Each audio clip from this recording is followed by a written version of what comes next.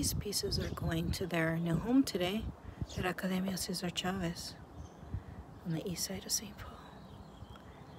Very exciting.